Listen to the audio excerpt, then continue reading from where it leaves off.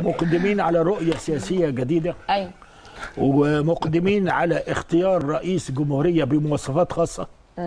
مية المية ليست متوفرة كانت في رئيس الجمهورية السابق. وإن كل خطاياه وأخطائه نحن نسعى ونلبس رئيس الجمهورية القادم هذه الصفات. هذه الصفات التي يجب أن نتكلم عنها. أم أن أي واحد منهما يتحدى النتيجة دون أن تعلن رسمية؟ بالطريق المشروع. آه. فاعتابنا عليه ما حدش يتحدى عليه. يقعدوا بقى ساكتين لغاية لما طيب تطلع بالظبط النتيجه أدي آه. حاجة الحاجة اتفضل. الثانية آه. ننتظر اولا التحقيقات التي تتم في ضوء المستندات التي قدمت والطعون التي قدمت ويجي القاضي بعد فحص وتمحيص وبصر وبصيرة كما يقول رجال القانون هنا نطمئن إليه ويعلن الراي تماما على الشعب المصري. أما إننا اولا من عادي جدا إن ال- الصراع ما بين الرؤساء والصراع. كل واحد عايز يقدم نفسه يقوم يلقي اللوم على الآخر ويصف الآخر ويعمل الآخر. ده شيء بشري. أما ال- إحنا في ظروف معينة وأرجو من الطرفين ويجب إن إحنا يعني حين نلتقي مثل هذا اللقاء إن إحنا نوجه إليهما. أن يكون المسألة صراع جميل والخلاف في الرأي. لا يفسد وإحنا مقبلين مقدمين على عهد جديد. طب ممكن بقى أنا أسأل سؤال. مهم دلوقتي؟ وإن المفروض كلام المفروض الأخيرة أي. أن يكون الرئيس القادم أكثر الناس عقلا وتدبيرا وحكمة إلى آخره. نعم. اسمعي بقى. قول الله سبحانه وتعالى. أي. فبما رحمة من الله لنت لهم ولو كنت فظا غليظ القلب لانفضوا من حولك الجماعة بالرأي والحكمة والمشورة وهي المفروض كده. اتفضلي. طيب اللي إحنا عايزين بقى نتكلم في حك... في, ال- في اللي حضرتك كنت بتقوله ده بالظبط. المشكلة اللي انت ذكرتها في كلامك دلوقتي عشان في خلاف عليها. الإعلان الدستوري المكمل الذي يعني هناك اعتراض كبير عليه إنه آه، وصفوا مثلا. الدكتور آه،. الدكتور آه، ثروت بدوي مثلا قال ده في انقداد على آه، سلطة آه، الشعب وإن العسكري بيغتصب آه، السلطة الدكتور نور فرحات آه، مثلا قال الإعلان الدستوري هو مصدر الدستورية ولا يخضع لمعيار دستوري أعلى منه لأنه بيستمد دستورياته لا يستمد دستورياته من أي تشريعات ولذلك لا سبيل للطعن عليه بأي سبيل. فإحنا دلوقتي محتارين. عندنا فقهاء دستوريين. لا، دقيقة بس- واحدة معلش عشان أوضح وجهة نظري. فقهاء دستوريين مختلفين. واحد بيقول لك أيوه الإعلان الدستوري واحد بيقول لا ال- الأستاذ هنا قال أستاذ عبد الله قال أنتوا عايزين تدوا له التنفيذية والتشريعية وأنا كنت بقول الكلام ده امبارح عمال يقولوا صلاحيات. الرئيس الرئيس ادوا له كل الصلاحيات الصرا- لا صلاحيات؟ الرئيس؟ الناس الدنيا كلها بتتكلم على صلاحيات الرئيس بتاعت مبارك آه. يعني هنرجع تاني. نديله قول له خد كل السلطات في إيدك طب ما هو لازم كان يبقى فيه طبعا إحنا كنا نتمنى عشان آه. الأمور تبقى منضبطة يبقى في مجلس شعب وفي برلمان بس. الحقيقة إيه؟ بس الحقيقة هو غير دستوري أيوة. انتخب على قانون غير دستوري وطارق البشري نفسه حذر أيامها. آه. قال إذا طعن عليه بعدم الدستوريه هيتقبل. أيوة. ده حقيقة. طيب. في أخطاء فادحة طب اتعملت رد. عليا في حتة الرئيس. آه بصي. نديله بقى آه، كل الصلاحيات بصي. بصي نديله التشريعية أنا والتنفيذية عاوز في وقت أتكلم واحد. في في شقين في الكلام الحقيقة. وبعدين في شق. في شق قانوني فقهي اللي يقولوا زي ما عاوزين يقولوا. أيوه كله ليه حق واللي يطلع يعترض يقول زي ما عاوز.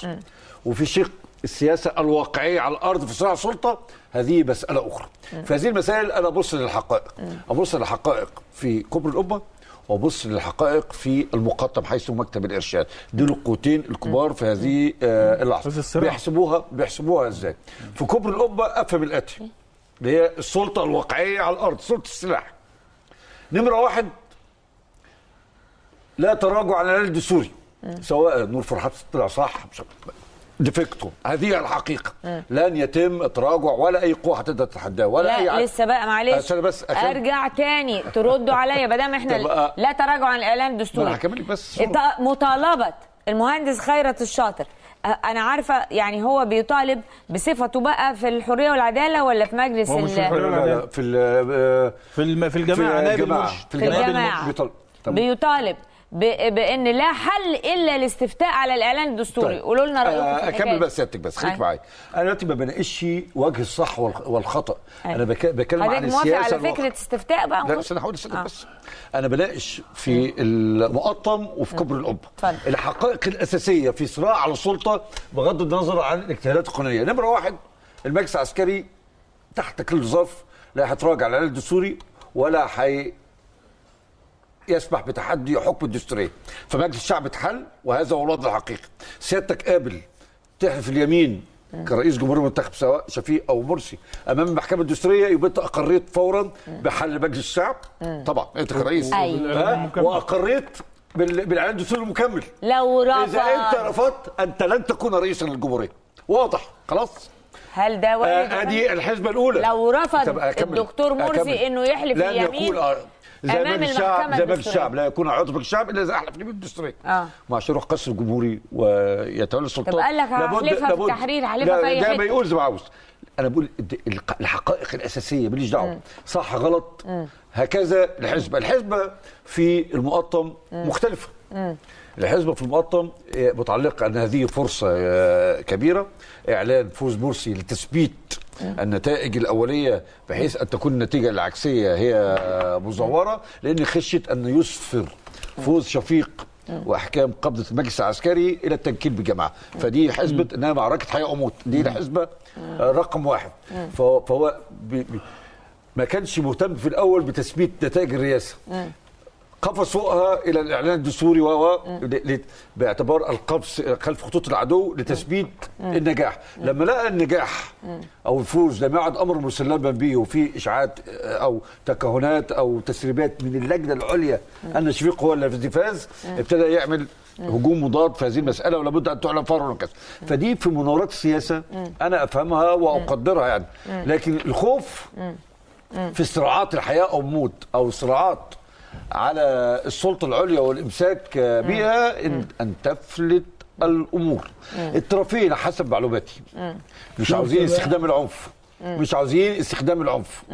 لكن أنا دايما بقول وأي حد يقرأ التاريخ يا دكتور طب معلش بقى. إن الصدمات لو كان لو-. لو- بس الشعب قلقان لا لا شايف لو تحركات. لو, لو العنف هو الخيار ال- الوحيد هيلجأوا ليه؟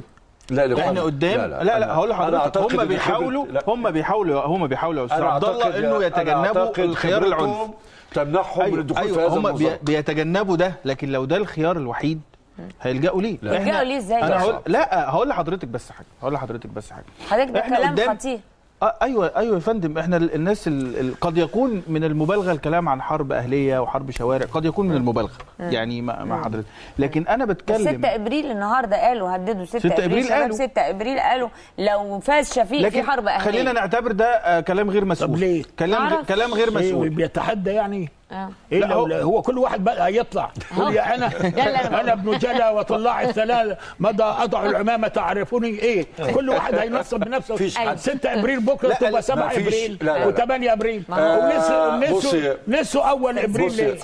أيوه. اتفضل يا فندم لا أنا شايف يعني حضرتك كما بدأنا القول الوعيد أيوة، أيوة. وهو قلنا إن في خلافات ما بين الفقهاء. أو فقيهين كبيرين. نور فرحات وس- وس- ثروت بدر بدر. يعني رأيين يعني جهابذه الفقه وأئمة الفقه. اختلفوا في الرأي. فإحنا مش عايزين ندخل في الخلافات. إحنا دلوقتي الموضوع اللي أمامنا كيف كيف نصل إلى اختيار إلى اختيار رئيس جديد. ده بيقول وده بيقول والقول الفصل اللي إحنا اللي هي أصحاب الاختصاص. اللي هي اللجنه الرئاسيه اللجنة. وبعدين أنا بس بقى عايز كلام. ال- أيوة. الكلام بتاع إحنا. قدامنا إحنا قدامنا نموذج. آه، حصل في التحرير لما جابوا آه، سام شرف رئيس للوزراء. سام شرف كان واقف في التحرير له وقالوا إن هو جاي إحلف. وقالوا انه هذا هو رئيس وزراء الثورة وكان واقف ب- بجواره محمد مش أنا لسه. بقول لك أنا أنا هروح البلتاجي واقف جنبه مش لا، لسه لا، بقول لك لا لا هو هروح وأقول أنا لا، رئيس لا، جمهورية. هو لم؟ واضرب مثل لا، تاريخي. هو لم لم يقسم لم يقسم في الميدان ان إن الميدان آه، لا، لا. مولد. لا، لا، أنا بس الأبطال يا فندم، خليه هو ينجم. ينجم يا فندم، يا فندم. والله فكره فكرة عقلانية يا فندم بأكد بس على حاجة ايها الشعب أيوه اتفضل. إنه آه، آه، آه، لم يقسم اسام شرف اليمين في التحرير رغم إنه كان مدفوع بإنه هو رئيس وزراء الثورة وكان واقف جنبه بقول محمد بلتاجي وصفوت حجازي بتوع بتوع الثورة والإخوان المسلمين. لأن هم عارفين أنه شرعية منصبه لا تأتي من ميدان التحرير.